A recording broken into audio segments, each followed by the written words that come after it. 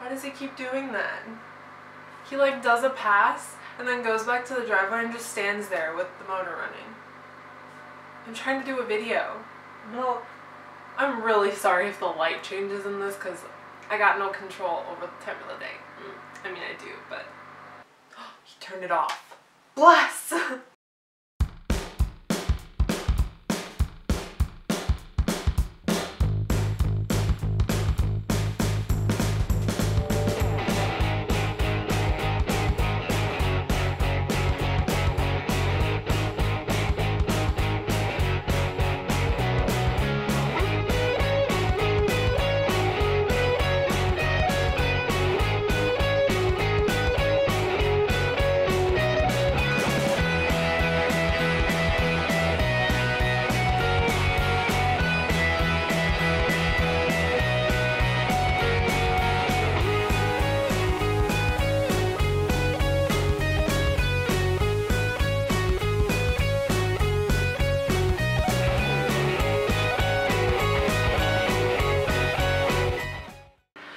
friends and welcome back to Movie Monday, my favorite day of the week because I get to talk to you all about movies. Today I'm going to go over what I've been watching and show you my movie collection. Let's get started. I'm sorry if you can hear lawnmower noises in the background, but I waited too long to record this video and my mom's roommate started mowing the lawn, but that brings me to my first point of business. You may have noticed that I am in a different location with slightly better lighting, although that's uh, hard to talk about considering that the light is almost gone because I waited too long to do this. However, that is because I am on winter break. I'm going to be back here in Des Moines for five weeks getting to relax, watch some movies, watch some TV shows, play some video games, make some videos for you, as well as do some other fun stuff and just like chill around Des Moines for five weeks. It's gonna be a good time. Oh, I don't know why I said it like that. So, this week I've been watching a few shows, not as many because we were finishing finals, but this weekend since I've gotten back, my mom and I have got to catch up on some stuff that we have been holding on our DVR for a very long time. One of which is season 5 of Grimm. And I watched Grimm through season 4 and then I got kind of bored and I didn't really want to watch it anymore so we stopped watching it for a while and season 5's been sitting on our DVR for like a really long time. My mom didn't even record season 6 because she's like, Morgan doesn't want to watch it, I'm going to wait for her to watch it. So we started watching season 5 because I didn't really want to watch The Walking Dead quite yet. Um, but it's it got really good again. Like I'm really excited about Grimm and I'm super stoked to see how it ends. Like we gotta make sure that we can get um, season six somehow. I it's not available on Amazon right now because I don't know. I guess it's the newest one, but season five is on there. Um, but it's really good. If you don't know what Grimm is, it is a TV show on NBC or it was on NBC, it ended after the sixth season, um, about these people called Grimms, and they're like the people from Grimm's fairy tale, but like they are, their purpose is to kill these people that turn into like animals. They're called Wesen. So it follows Nick Burkhardt, who is a Portland detective, as he finds out his whole identity of being a Grimm and seeing all these Wesen and solving crimes based on Wesen crimes. So it's a really good show. If you haven't seen it, you should totally check it out. It is six seasons long. Uh, it, I think the last season aired this year, if not last year. So it's all finished and you can just like binge it. I don't know where you, you can find seasons one through five on Amazon Prime. Um, I don't know about season six, but if you have Amazon Prime, binge watch those five seasons and then pay for season six because it's just that good. I've also had some stuff piling up on the DVR for a really long time from this semester since I was not here to watch it and I wanted to record it because I wasn't going to be able to watch it on my computer. The three or four that I've been able to keep up with were um, Midnight Texas, The Flash, Supergirl, and Legends of Tomorrow, those are all really easy to access online. So I've been watching those online. But there are plenty of other things that I haven't been able to watch online and they're just piling up in the DVR and taking up space. So I have to go through those and watch those all so that we can have more space on the DVR to record new things. So I've been watching, what did I watch first? I've been watching Stitchers and Stitchers is a show on Freeform and it is about this secret government organization who solves crimes by like hacking into the minds of dead people with their stitcher. And it's a really good sci-fi show that it, has quite mixed reviews but I really like it. Um, I think the cast is really good. But I just watched the season finale so the season is over for this year and the next one will start in the summer I think maybe I think it's a summer show so that's one of the ones that I've been watching. And then I also have had like the season finale of Face Off on my DVR for a while. Um, unfortunately though, when I went to watch it this morning, it was only part one of the finale and I don't have part two. So I don't know what I'm going to do about that, but I'm sure I'll find it somewhere. And I haven't started watching it yet on break so far, but I'm also watching The Walking Dead season 8? Is it 8? Or is it still 7? Huh. Well, I'm on like episode 4 or something of the newest season of The Walking Dead.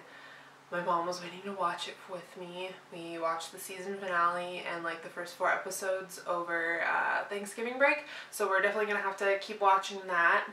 And then there are just a bunch of other ones that are to be on there, but I'll talk about that in the next movie roulette that I post, which will be next week. So, now that we've gone over what I've been watching, let's delve into my DVD collection.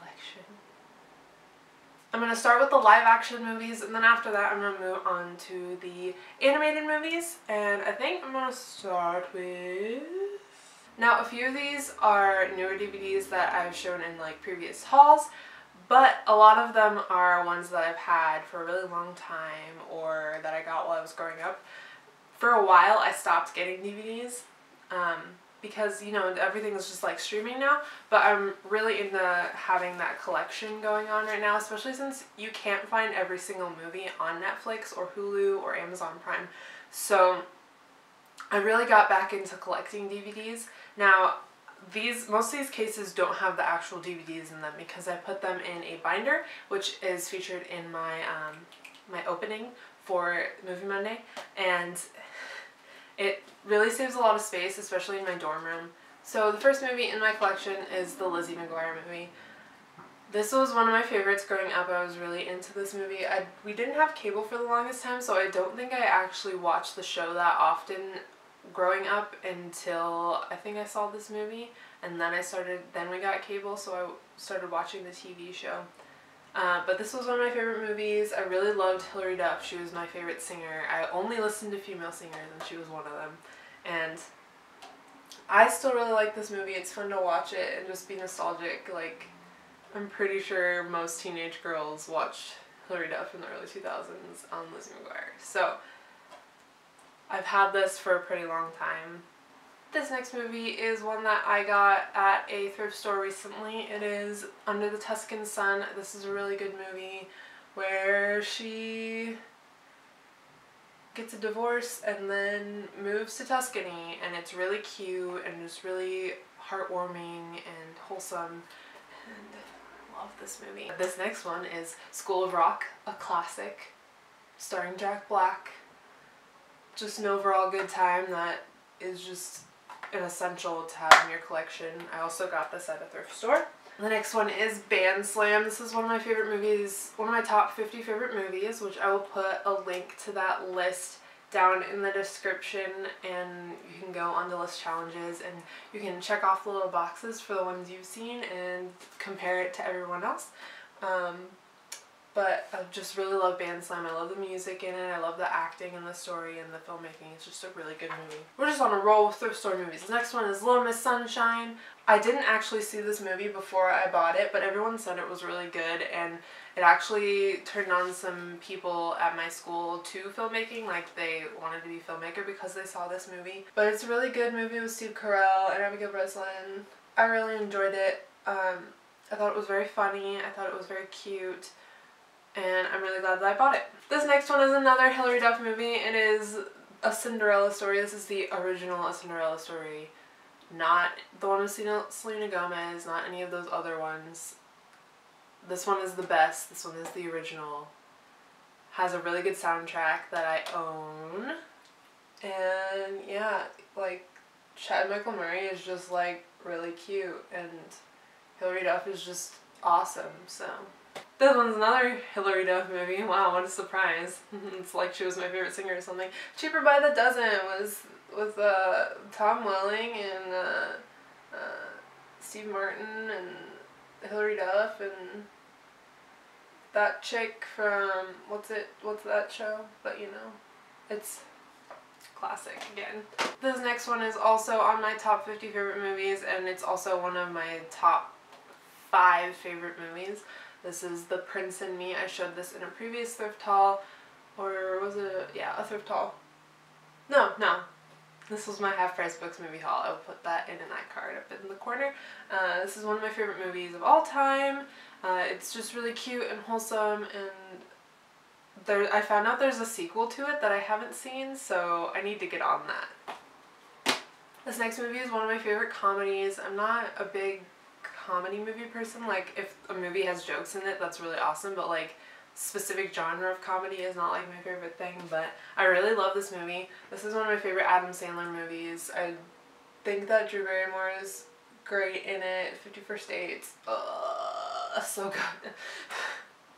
so next I've got some musicals. I really enjoy musicals. I, it's weird that I don't own more of them, but these are all classics, so I at least I own them, you know. This first one is Grease. This is my favorite movie musical of all time. I don't know why, I just do. And when I was younger, my I said that my favorite color was yellow because I really loved Sandy's dress. And this DVD is really cool because it comes with like, it's like a collector's edition. So it's got like this cool like T-Birds leather jacket on it um, with the Grease logo and it's just like a sleeve and it's the yeah the Rockin' Rydell edition. So yeah, Olivia Newton-John and John Travolta, and it's just I just love it. It's just timeless and fun. Next we've got Hairspray, another classic musical. I thought the they did a really good job of adapting the stage musical because I did see that in the Civic Center as well.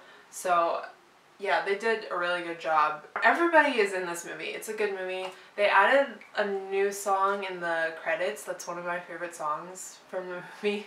And yeah, it's just, it's hairspray. How can you go wrong?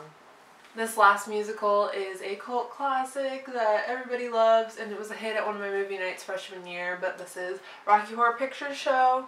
I saw it for the first time at, after prom me and my friends went to prom together and then afterwards we watched Rocky Horror in my friend's bedroom and they fell asleep really early and then I fell asleep like for five minutes and woke up and it was the end.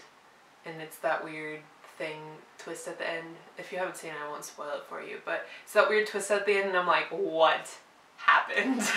But I really enjoy Rocky Horror despite having seen it only like three years ago, but Time Warp's one of my favorite songs, so.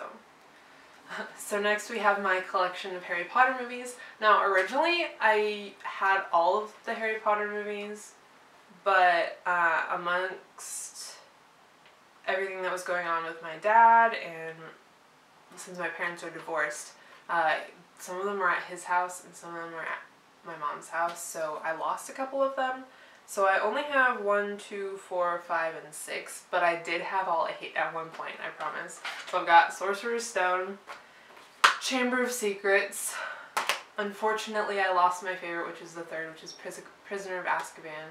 Uh, then I got The Goblet of Fire, Order of the Phoenix, and the Half-Blood Prince. I am planning on replacing all the ones that I lost as well as getting Fantastic Beasts. So just gonna make my uh, DVD collection grow a little more. I feel like I'm spending too much time on this. So these next ones are superhero movies and they're all kind of grouped together anyways. So first I got the X-Men ones. I have um, the first three, First Class, Wolverine, Origins Wolverine, and uh, Days of Future Past. I'm missing a few. I know. I'm planning on getting them. X-Men are my, the X-Men are my favorite superhero group. So it's definitely a goal of mine to own all the X-Men movies, including the bad ones, because I like the bad ones too. Hence uh, why I own Origins Wolverine. Then I've got Batman Begins and The Dark Knight. Batman Begins is one of my favorite superhero movies. Uh, I think it's one of the best Batmans we've had. I love Christian Bale as Batman. The whole time we were in Justice League, I was like, but it's not Christian Bale. and then I also have The Dark Knight, which I saw for the first time this year. Uh, if I've uploaded Movie Night already, I believe that's the movie I was watching in it. Uh, I'll link that if I did. Then I've got Spider-Man 1 and 2. I don't have 3 because it's bad and I haven't found it at a thrift store yet, but I may or may not buy it. We'll find out. I've also got Fantastic Four. I still haven't seen the reboot and I don't think I'm to like it, but I'm probably to watch it anyways. And then I have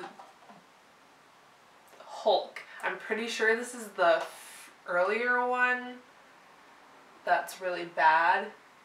Yeah, this looks like the bad one, but I wanted it anyways because I'm just, I'm collecting all the superhero movies. Gotta catch them all, am I right? Now I'm going to show you my fantasy slash sci-fi movies.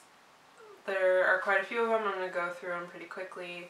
Um, first I have Pirates of the Caribbean. I have the first one and the second one, so Curse of the Black Pearl and is it Dead Man's Chest? Yeah, Dead Man's Chest. So it's the first and the second one.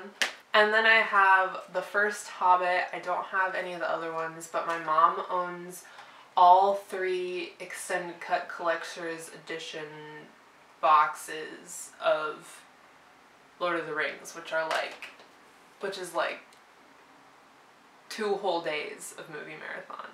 I also have the Mortal Instruments City of Bones. I think I saw the movie before I read the book and I really liked it, so my mom got it for me. I still enjoy the movie even though it's terrible. You might notice a theme on my channel of me liking bad movies. It's just a thing I do. It's not that they're good, I just enjoy that how bad they are.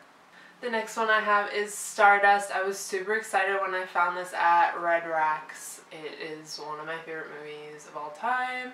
And uh, I freaking love... Oh, what's his name? He's not on here. Who the heck? I freaking love Charlie Cox. I love him in this movie. I love him in Deb... Or not Deadpool. What's it called? Daredevil. Sorry, Molly. My cat's sleeping on the bed. Next I have another book adaptation, which is completely different from the books, but I still really enjoyed it and thought it should deserve a sequel. I am number four. And then I have Warm Bodies, best zombie movie ever, just because I don't really like zombie movies all that much. Next I have the first rebooted Star Trek. I also have Hook, Rest in Peace Robin Williams. This movie is fantastic. I also have the remake of The Karate Kid because I'm trash and I haven't seen the first Karate Kid but I really enjoyed this one and it has the only Justin Bieber song I like in it. I also have Sweeney Todd. I am making it a goal to get um, Sleepy Hollow as well. I think these two movies go very well together.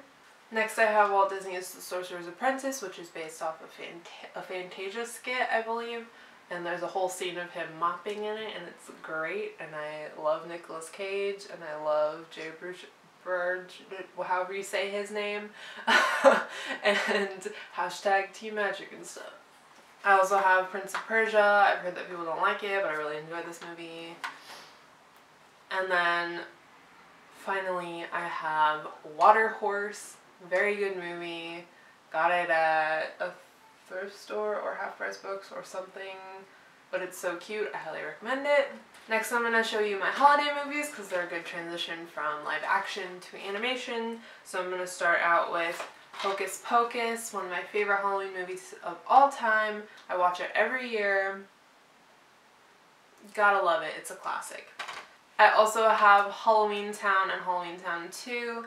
This was a gift from my mom last year for I was doing a Halloween movie marathon at school.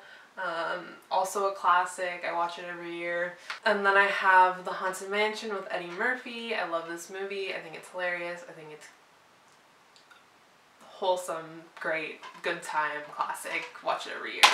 And then we have one of my favorite movies growing up, which is The Little Vampire.